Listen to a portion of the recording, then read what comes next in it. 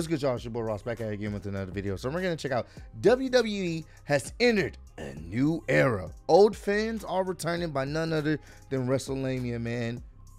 It, this is a, a crazy time we live in where we can finally say there's actual change happening within WWE. And we're living through that that actual change. You can see it on Monday Night Raw. It may not be major changes, but they're subtle and they're noticeable. Just with what we saw on this previous Monday Night Raw, with the subtle storytelling that was happening in the background. Like, that is very unique in a sense where you don't really see that much. Usually, Monday Night Raw has a whole bunch of cringe segments. This Monday Night Raw, I didn't feel that. I was really intrigued on what's going on with Dexter Lumis. What's what was what was the reason why the car was crashed? Why why did he crash the car? Like stuff like that. That's that's engaging me personally. And it has me excited to see what they do next week. And maybe fans are returning back. We're gonna check this video out. Appreciate all love and support, man. Let's see what Russell WrestleLamia has to say on this topic. A new era has officially landed in WWE. Yes, it has. Vince McMahon has finally retired and will have nothing to do with the day-to-day operations of the world's biggest wrestling promotion. Due to McMahon being gone, fans are expecting some major changes to be implemented on screen, and these changes will hopefully come sooner rather than later. Join us now as WrestleLamia looks at 10 huge changes that are coming or have already been implemented to WWE now that Vince McMahon has retired. Be sure to subscribe and hit that uh, notification. Oh, sorry about that. My phone was going on. Number 10, less scripted promos. Oh, this is a good one. This is a good one. WWE is that the promos delivered by superstars feel forced and unnatural. WWE heavily scripts their promos and only lets a select few superstars deviate away from the scripted material. Mm-hmm. This limits creativity, and one of the main reasons for WWE micromanaging promo content is so that talents don't go off on a tangent and potentially infringe on PG guidelines. Mm-hmm. Thankfully, there have been reports that the new head of WWE creative Triple H is going to allow talent to be more natural with their promos. Yes, Triple so H is in favor of abandoning the fully That's scripted good. promo and in favor of either improvised promos or bullet point led scripting. There we This go. This is welcome news, and hopefully WWE fully commits to this idea. And you can start to tell more wrestlers are sounding more, I guess you could say, real, like real people. They don't come off as scripted. You can tell that there's a lot of improvisation going on in just the, the few promos we have been seeing. And I love it. That's great. That's how it should always have been. That's how it should give people bullet points. Make sure they know what they can and case can't say on television. Give them bullet points. Let them go out there and let them entertain. No one knows a wrestler's character better than the wrestler themselves, man. Number 9 Intergender Wrestling. Over the past Mm. decade, there's been a vast increase in the popularity of intergender wrestling. Whilst popular on the independent Yeah, scene, is. WWE has distanced themselves from the concept, and they've even stated in several interviews that they have no desire to introduce male versus female matches onto their programming. If Triple H wants to make a strong impression, introducing intergender wrestling into WWE programming would be an interesting move. However, this would only be possible if WWE abandoned their PG presentation. Yeah. Intergender wrestling in a PG environment would be hard and would likely receive complaints. Yeah. However, under a TV 14 rating, this would be more achievable. When WWE have explored this concept in the past, for instance, when Baron Corbin Yeah, performed the End of Days of Becky Lynch, it move. received an enormous reaction. However, it was worth noting that Corbin did receive death threats. Mhm. WWE would have to be careful with how they introduced intergender wrestling, but there is certainly a demand for it, and now this could be the best time for WWE to pull the trigger.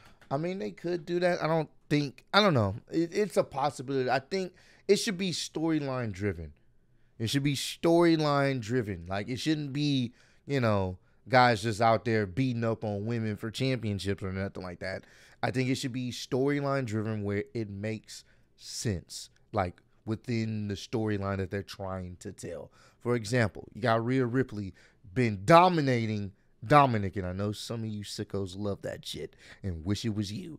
Um, but say Dominik, you know what I'm saying, gets his get back. And I'm not talking about sending her to the gulags or anything, but like he's able to, you know what I'm saying, he's able to maybe, you know, get get a one up on her.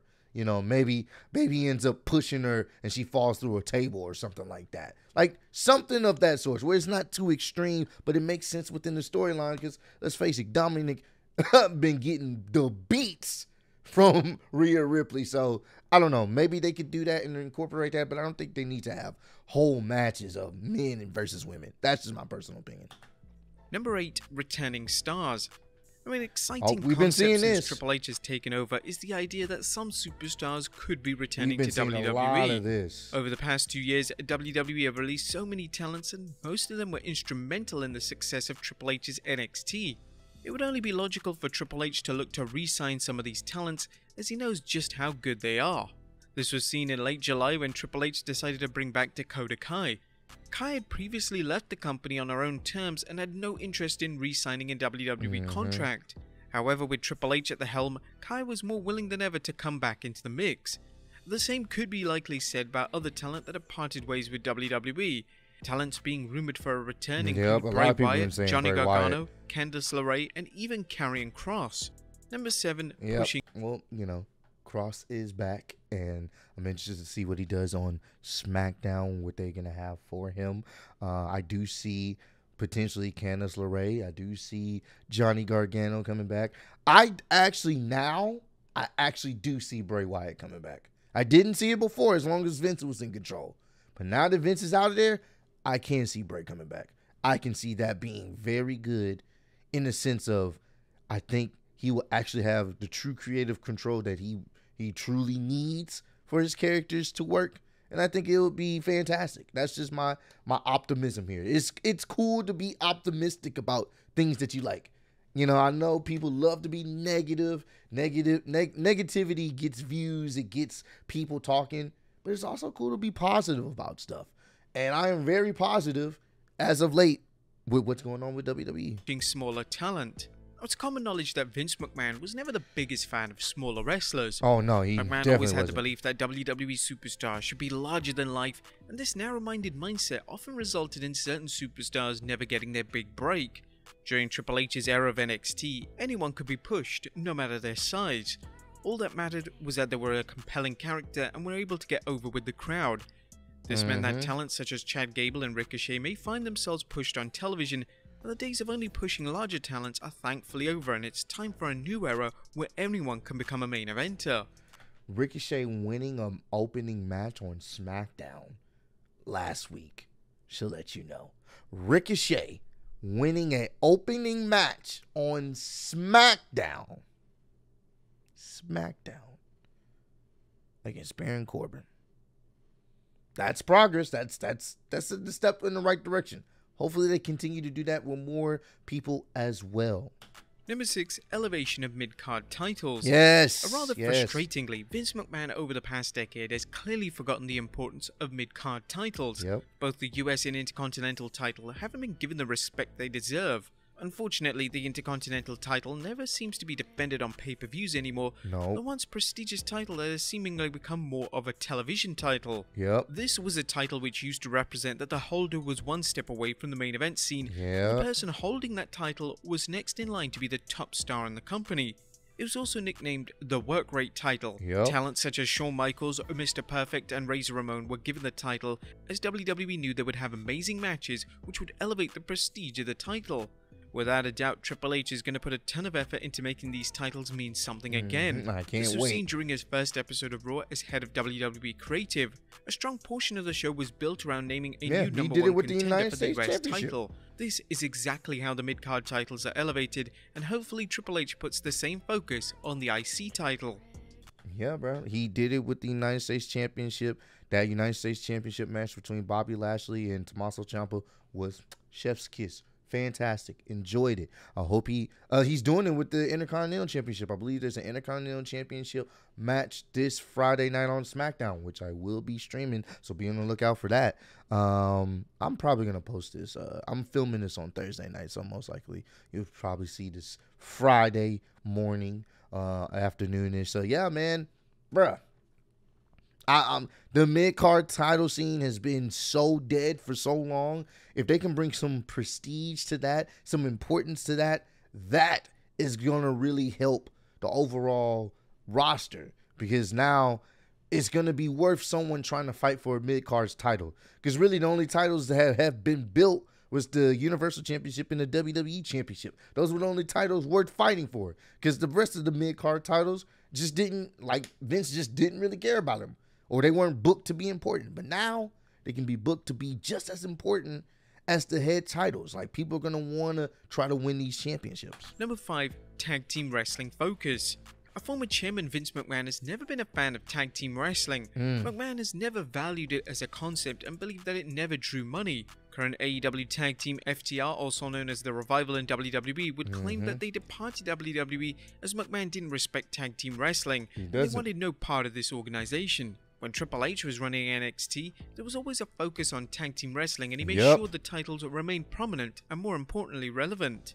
The game would introduce the Dusty Rhodes Tag Team Classic, which focused on tag team wrestling whilst paying tribute to an all time great. The main mm-hmm. roster tag division has the opportunity to They be do. legendary.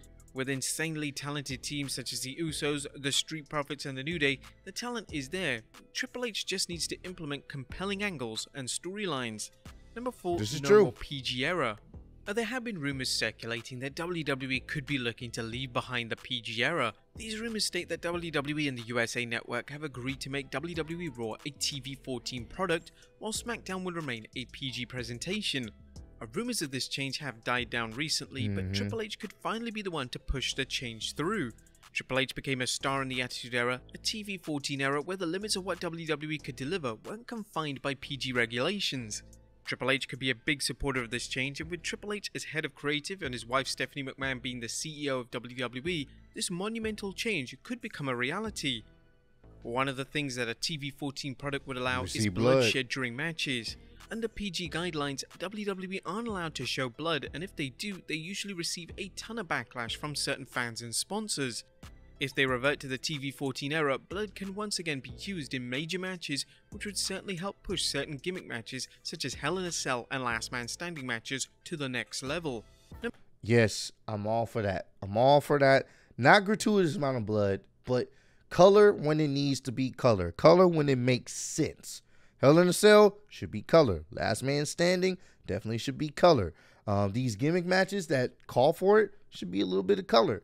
You know what I'm saying? If I'm getting hit with foreign objects, I'm probably gonna bleed. You know what I'm saying? So that's that's only if it makes sense if they're able to do it. Granted, they don't need it, but I do think it would be a nice little nice little flavor to add to the overall product. But they don't need it. I've always said, even when the rumors came out, it's all about the booking, the booking and the setting of the show and the and who you're pushing and and the storylines. Those will get over more than just the actual rating. You know what I'm saying? Those matter more than the actual rating. Number 3, Raw going back to 2 hours. Uh, Back in 2015, Triple H appeared on Stone Cold Steve Austin's podcast on the WWE Network. One of the things Triple H revealed was that if he could change anything about WWE, he would make Raw a two hour product. Yep. Three hours of Raw on a weekly basis has become excessive for the past decade, and it's simply too much to handle. WWE going back to the two hour format would be a welcome change and may see some Mm. Be lapsed great. fans return to the product. The issue is that WWE has a set contract with the USA Yup, Network to produce do it. three hours of TV every week. If they go back to two hours, they would lose a significant amount of money. Mm-hmm. The question is, will WWE sacrifice this additional money in favor of a better product? Well, time will tell. Yeah, I I don't see them going to a to a a, a two hour show anytime soon. Maybe if their contract with USA is about to expire and they renegotiate, but USA is gonna want that three hours. Now, here's the thing: they can put on a mostly good to decent three hour show consistently. It'll help, but overall, we all know the three hour shows are just way too long weekly. Two hours is much you can stomach it more. You can it's more concise. But uh, we'll see if it does happen in the future. I don't think it will, obviously, because the USA Network they want that they want the money. That third hour gives them that extra bit of cash, so they want it. So Number two, improved commentary. Mm. Vince McMahon had a habit of micromanaging his commentary team.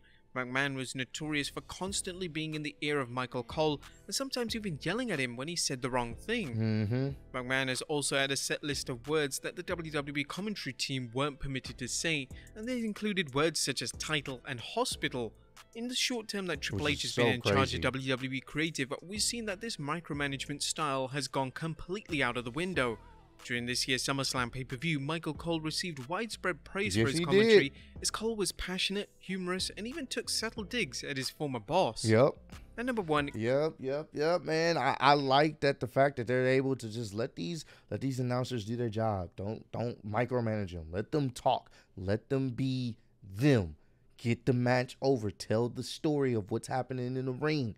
Like the fact that you couldn't even say hospital, you had to say medical facility. It's just wild, bro. No, he got beat up and got sent to the hospital. The end. Like that's, that's micromanaging to the T. creating new stars. And yep, From a this is the number one thing. WWE has vastly changed how they market themselves over the past few years. Since John Cena stepped away from WWE, they've shown reluctance of marketing shows based upon one superstar instead of opting to market and promote the entire WWE brand. Whilst fans could argue that Roman Reigns is the face of the company, that is certainly correct. Mhm. WWE pride themselves on saying that the fans are paying to see the WWE as a whole, not just one superstar. This falls in line with the WWE's prior reluctance to make new stars. Under Vince McMahon's regime, when the certain stars get organically over, McMahon would just cancel their push, and he would do anything in his power to stop that superstar potentially becoming bigger than the WWE product. Facts. This mentality needs to go away with immediate effect. Triple H needs to make new stars, and it doesn't matter who they are. If a talent gets over with the audience and their performance in the ring is of the quality fans expect, then there's no Mhm. reason why the WWE shouldn't fully invest in that specific superstar.